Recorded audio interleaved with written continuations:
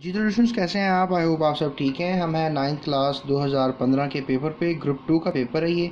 और इसमें मौजूद तमाम एम को जो है हम हल करेंगे। मज़ीद वीडियोस के लिए डिस्क्रिप्शन को आप फॉलो कर सकते हैं। मैं हूँ खुरम शहजाद और आप मेरा यूट्यूब चैनल देख रहे हैं स्टूडेंट्स स्टूडेंट चलते हैं पहले सवाल की तरफ़। To what category of molecules do enzymes belong ये पहले ग्रुप में भी सवाल आया था। और उसमें मैंने बताया था कि प्रोटीन्स जो हैं, ऐसा ग्रुप है जिसमें जो एंजाइम्स को बिलोंग करता है because all proteins are not enzymes but all enzymes are proteins ये बहुत बड़ा जुमला है, आप याद रखिएगा। सो कार्बोहाइड्रेट्स और न्यूक्लिक एसिड्स और लिपिड्स, ये बायोमोलिक्यूल्स हैं। नो डाउट प्रोटीन भी बायोमोलिक्यूल कैटेगराइज होता है, लेकिन एंजाइम ज़्यादातर जो है वो प्रोटीन्स के बने होते हैं, या समटाइम वाइटामिन भी एंजाइम का रोल अदा कर रहे होते हैं, लेकिन वो बहुत माइनर कैटेगरी होती है। बहरहाल प्रोटीन जो हैं वो एंजाइम्स होते हैं। सो वट आर विलाई ये जो प्रोटीन्स का सवाल है स्टूडेंट्स ये एंजाइम्स का जो सवाल है that is chapter number six enzyme से जो है ये लिया गया उसके बाद हमारे पास सेकेंड क्वेश्चन है what are villi where are villi found villi किधर पाए जाते हैं? विलाई स्टूडेंट्स ये आपका चैप्टर है चैप्टर नंबर एट न्यूट्रिशन ये वहाँ से सवाल लिया गया और ये विलाई आपके स्मॉल इंडस्टाइन में पाए जाते हैं। ये तोलिए की तरह का स्ट्रक्चर होता है फिंगर लाइक प्रोजेक्शंस होते हैं। बाकी स्टमक इसोफेगस लाइनस्टाइन ये एलिमेंट्री कैनाल के आपके हिस्से हैं और इसका जवाब फ़िलहाल स्मॉल इंडस्टाइन होगा। सो उसके बाद थर्ड क्वेश्चन जो है वो किया जा रहा है which of these organelles have their own DNA organelles का क्वेश्चन सेल्स एंड टिश्यूज से जो है वो लिया गया चैप्टर नंबर फोर तो इसमें आप पूछा जा रहा है कि which of these organelles have their own DNA यानी अपना डी डीएनए किसके पास होता है? तो याद रखिएगा अपना डी डीएनए जो है वो माइटोकॉन्ड्रिया के पास भी होता है आ, ये कह लें और क्लोरोप्लास्ट के पास भी होता है. सो टेक्निकली क्लोरोप्लास्ट के पास अपना डीएनए होता है, ये बात थोड़ी सी डाउटफुल है, लेकिन माइटोकॉन्ड्रिया के पास अपना डीएनए होता है, ये मैं हंड्रेड परसेंट श्योर हूँ because always mitochondria was first time living bacteria जो सेल ने इंगल्फ किया और फिर एंडोसम्बियॉन्ड हाइपोथेसिस की बुनियाद पर माइटोकॉन्ड्रिया हमारे सेल का ही बन गया। So mitochondria is the right answer not the chloroplast I think so chloroplast के अंदर अपना डीएनए होता है that is a big question लेकिन I don't think so mitochondria के पास होता है। न्यूक्लियस के पास तो होता ही है ये भी एक ऑर्गेनेली है। और गोल्जोप्रेटस के पास नहीं होता। सो so, ये एमसीक्यू टेक्निकली भी वैसे पूछा जाए क्योंकि ऑर्गेनेली न्यूक्लियस भी है इसके पास भी अपना डीएनए होता है नो डाउट तो टेक्निकली रॉन्ग एम है बना दिया गया है स्टेटमेंट के हिसाब से। तो बहरहाल इसका क्लोज आंसर जो है मैं माइटोकॉन्ड्रिया को लूँगा।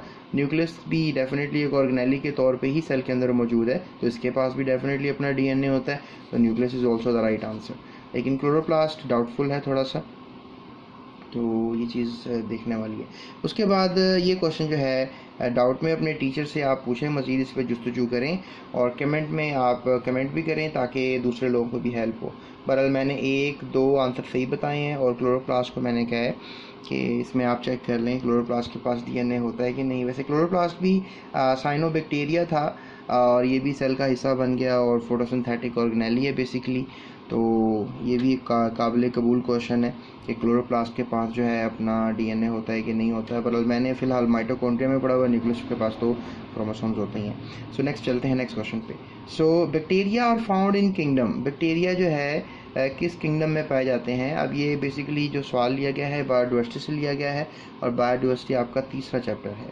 सो नो डाउट जो बैक्टीरिया हैं वो किंगडम मोनरा में रखे गए हैं एनिमल्स प्लांटी और फंजाई ये तीन किंगडम और है चौथा किंगडम जो है किंगडम प्रोटिस्टा है जो यहाँ लिखा नहीं गया। उसके बाद पांचवा सवाल है students members of the same species living in the same time में एक लेवल कौन सा लेवल होता है सेम स्पीशीज़ का? तो पॉपुलेशन लेवल होता है क्योंकि स्पीशी अगर सेम हो अगर डिफरेंट स्पीशीज़ हों तो फिर कम्युनिटी लेवल होता है। हैबिटेट रहने की जगह होती है कोई भी जानदार जहाँ पर रह रहा होता है इको में ये बायोटिक बायोटिक फैक्टर्स मिला के सारी ज़िंदा मुर्दा चीज़ें मिला के जो एक माहौल बनता है उसको इको कहते हैं। सो so, छठे सवाल की तरफ़ चलते हैं। How many molecules of carbon dioxide are produced when Krebs cycle operates once यानी कितने मॉलिक्यूल्स जो हैं, वो कार्बन डाइऑक्साइड के जो हैं, वो प्रोड्यूस होते हैं जब एक क्रैब साइकिल ऑपरेट करती है। तो यहाँ पे तो छः लिखा हुआ है, पर मेरे ख्याल से दो है, ये मैं कंफर्म करके आपको बताता हूँ। बहरहाल, ये सवाल जो लिया गया है that is from chapter number seven bioenergetics तो स्टूडेंट्स ये एमसीक्यू जो है बेसिकली आपकी एक्सरसाइज से लिया गया है। तो ये मैंने एक आपकी फ़र्स्ट ईयर की किताब है, वो रेफरेंस कोड किया है, क्योंकि आपकी बुक में फ़िलहाल इस बात का ज़िक्र नहीं है कि क्रैप साइकिल जब चलती है तो कितने कार्बन डाइऑक्साइड मॉलिक्यूल प्रोड्यूस होते हैं। बेसिकली जो पायरोवेट मॉलिक्यूल होता है, वो एसिटाइल कोए मॉलिक्यूल में कन्वर्ट होता है। एसिटाइल कोए मॉलिक्यूल जो है, वो दो कार्बन का मॉलिक्यूल होता है। और जब ये क्रैप साइकिल फ्रूट चलती है तो इसमें आप देख सकते हो कि जो एसिटाइल को है वो एक्जेलो एसिटेट से जो है एसिट्रेट में कन्वर्ट होता है। सिट्रेट फिर आइजोसिट्रेट और फिर अल्फ़ा कीटो ग्लूट्रेट की फॉर्म में जाता है और फिर सक्सीनेट की फॉर्म में जाता है which is basically four carbon molecule और फिर uh, इस इसी दौरान में जो है ये फ्यूमरेट में तब्दील होता है मैलेट में होने के बाद दोबारा एक्जोल अब इस दौरानिए में ये होता है स्टूडेंट्स कि जब आइजोसिट्रेट जो है अल्फ़ा कीटो ग्लूट्रेट बनता है तो आप देख सकते हो कि एक कार्बन डाइऑक्साइड का मॉलिक्यूल रिलीज़ हो रहा है। जब अल्फ़ा कीटो ग्लूट्रेट कन्वर्ट होता है सक्सीनेट में तब भी एक कार्बन डाइऑक्साइड का मॉलिक्यूल रिलीज़ होता है। इसके अलावा कहीं पर भी कार्बन डाइऑक्साइड रिलीज़ होता हुआ नज़र नहीं आ रहा। तो आप ये पढ़ भी सकते हो कि oxidative decarboxylation produces NADP with the release of one carbon dioxide molecule और ये भी आप देख सकते हो second oxidative decarboxylation produces the second NADP with the release of second carbon dioxide molecule so there is no other carbon dioxide molecule which is being released so students हम कहेंगे सिर्फ़ दो carbon molecule carbon dioxide molecule ही release होते हैं। So the right answer is two not six which is being wrongly corrected so चलते हैं two is the right answer उसके बाद seventh question which of these major bio elements is in the highest percentage in protoplasm protoplasm क्या होता है? कि जो nucleus होता है और सेल मेम्ब्रेन होती है, उसके दरमियान जो भी कुछ होता है साइटोप्लाज्म ऑर्गेनाइज वट एवर सब प्रोटोप्लाज्म कहलाता है। उसमें कह रहे हैं कि इस बायो एलिमेंट्स में सबसे ज़्यादा प्रोटोप्लाज्म में क्या पाया जाता है? तो नो डाउट ऑक्सीजन की परसेंटेज सबसे ज़्यादा सिक्सटी फाइव परसेंट के करीब। तो लिहाजा ये प्रोटोप्लाज्म सबसे ज़्यादा होता है। बायो एलिमेंट्स आप याद रखिएगा, ये शॉर्ट क्वेश्चन भी आता है। तो चलते हैं नेक्स्ट क्वेश्चन की तरफ़। स्टूडेंट्स नेक्स्ट क्वेश्चन किया जा रहा है during which phase of cell cycle spindle fibres are formed कौन से फ़ेज़ में स्पिंडल फाइबर्स बनते हैं? स्पिंडल फाइबर्स आपको पता है कि ये जो क्रोमोसोम्स होते हैं कैनेटोकोर प्रोटीन होता है, वहाँ पे अटैच करने के लिए रिक्वायर्ड होते हैं ताकि क्रोमोसोम्स के जो सिस्टर क्रोमाटिड्स उनको लैदा किया जा सके।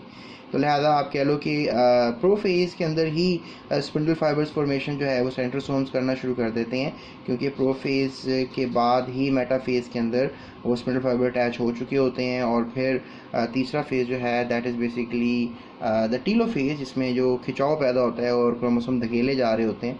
तो prophase is the very right answer metaphase interphase G two phase these are not correct bacteria are assign to kingdom ये भी ग्रुप वन में सवाल आया था तो नो डाउट किंगडम मोनारा है, या Monera whatever you want to call it यह सही आंसर है, क्योंकि पॉलीफेरा प्रोटिस्टा फंगस ये बैक्टीरियन में नहीं आता, और बैक्टीरिया की एक अलग किंगडम है, और कहते हैं जी कि सबसे पहले बैक्टीरिया ही थे, जो इस दुनिया पर आए, ज़मीन पर आए, उनसे एवोल्यूशन हुई, और आज के जानदार आपको नज़र आते हैं। उसके बाद दसवां सवाल which which one of the characteristics is not in a good hypothesis इनमें से कौन सा करेक्टरिस्टिक्स जो है वो अच्छी हाइपोथेसिस uh, नहीं बनाएगा? Which one of the characteristic is not in a good hypothesis must be correct यानी ऐसी हाइपोथेसिस जो बिल्कुल ही करेक्ट हो और उसको गलत ना किया जा सके एक अच्छा करेक्टर नहीं है ये। क्योंकि हाइपोथेसिस जो होती हैं या तो वो सच होती हैं या तो झूठ होती हैं। तो ये करेक्टर आप कह सकते हो। So must be consistent with available data ये अच्छी करेक्टरिस्टिक्स का करेक्टर है। हाइपोथेसिस का करेक्टर है मस्ट बी टेस्टेबल ये अच्छी हाइपोथेसिस का करेक्टर है मस्ट मूव प्रिडिक्शन ये भी ठीक है। सो मस्ट भी करेक्ट ये बात ज़रूरी नहीं है क्योंकि हाइपोथेसिस आपको पता है गलत भी हो सकती है। तो अगर ये कहा जाएगा जी मैंने जो हाइपोथेसिस दी है इज़ मस्ट भी करेक्ट तो ये बात डाइजेस्टेबल नहीं है। सो ये करेक्टर इस वजह से करेक्ट नहीं है। हाइपोथेसिस करेक्ट हो जाए इसमें कोई शुबा नहीं, हो जाए तो ज़बरदस्त, लेकिन ये करेक्टर नहीं गिना जाएगा। उसके बाद ग्यारहवा क्वेश्चन है स्टूडेंट्स कि when fibrinogen makes blood clot. It separates from blood and the remainder is called जब फाइब्रिनोजन जो है ब्लड क्लॉट बनाने में हेल्प होता है, आपको तो फाइब्रोजिन एक प्रोटीन है जो ब्लड क्लॉट बनाता है, आपको जब खून निकल रहा होता है ना तो एकदम आप देखते हो क्लॉटिंग हो जाती है, खून निकलना बंद हो जाता है तो फिब्रिनोजिन प्रोटीन जो है, ये बड़ा हेल्पफुल होता है। It separates from blood and remainder अब फिब्रोजिन अगर आप निकाल दें प्रोटीन ये निकाल दें अपने ब्लड में से तो पीछे क्या रह जाएगा? तो that is also another good question student that is plasma plasma is the right answer so ये लिया गया है सवाल ट्रांसपोर्ट से which is chapter number nine पिछला सवाल जो है good hypothesis chapter number two से लिया गया है. उससे पिछला बैक्टीरिया का सवाल बायोडाइवर्सिटी चैप्टर नंबर थ्री से लिया गया है. उससे पिछला सवाल जो मैंने आपको करवाया है that is being taken from basically phase cell cycle से लिया गया है. That is chapter number five और ये हाइड्रोजन का जो सवाल है बेसिकली ये चैप्टर नंबर वन से ही लिया गया है बायो एलिमेंट्स के टॉपिक से चैप्टर नंबर वन तो स्टूडेंट्स 2015 ग्रुप टू का आखिरी सवाल जो है, वो ये है the mitochondria function is mitochondria का सवाल चैप्टर नंबर फोर से लिया गया स्टूडेंट्स सेल्स एंड टिश्यूज़ में से. सो so, क्या फ़ंक्शन होता है? तो सेलुलर रेस्पिरेशन का फ़ंक्शन होता है और production of A T P इसका फ़ंक्शन होता है। प्रोटीन बनाने का काम राइबोसोम्स करते हैं फोटोसिंथेटिक काम क्लोरोप्लास्ट करता है ये भी ऑर्गेनली है लिपिड स्टोरेज का काम जो है that is being done by basically vesicles की फॉर्म में किया जाता है। गोल्जी ऑपरेटर्स लिपिड स्टोरेज का काम कर रहा होता है। पर लिपिड स्टोरेज का काम uh, कुछ टिश्यूज़ भी करते हैं जिसको हम एडिपोज टिश्यूज़ कहते हैं।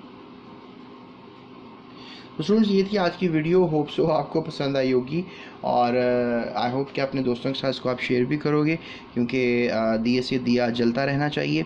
और मज़ीद वीडियोस के लिए इस चैनल के साथ रहो। अभी सब्सक्रिप्शन करने के बाद बेल आइकन को हिट करो ताकि मेरी नई अपडेट्स आप तक पहुँचती रहें। और uh, इसके अलावा सजेशंस में भी फिर आपको मेरी वीडियोस नज़र आएँगी। So that's it thank you so much अपना आपने ख्याल रखना है और इस चैनल का भी ख्याल रखना है। और डिस्क्रिप्शन में मज़ीद वीडियोज़ के लिंक्स हैं उनको आप फॉलो कर सकते हैं।